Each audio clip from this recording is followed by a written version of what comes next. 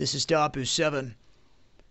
Many people are like, what in the hell has happened to the USA Today logo? They have switched it to a biohazard sign.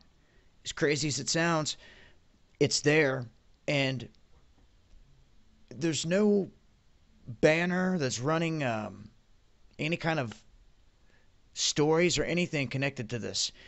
And many people saying it looks like a face with horns, Baphomet. Uh, but it's a biohazard symbol here. And oddly enough, as they give no reason for why it's sitting there, if you click on it, a story will pop up. And it says new lab incidents fuel fear, safety concerns in Congress. And guess what they start talking about?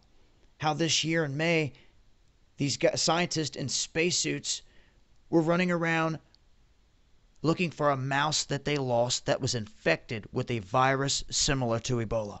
This happened inside Rocky Mountain Laboratories in Montana. Can you believe this?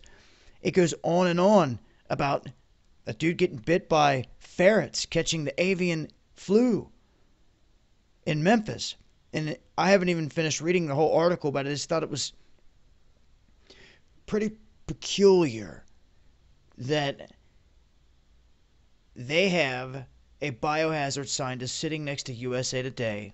And for everyone out there, I mean, people were blowing me up uh, with messages like, what is it? What is it? Well, if you click on it, it will open a story, but it makes it even a little more stranger that there's no showing that it's a story there. It's like, it's just weird.